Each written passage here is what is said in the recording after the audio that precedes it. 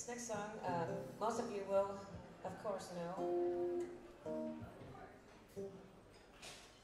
By Mr. Steve Winwood. Mm-hmm. I can't find my way home.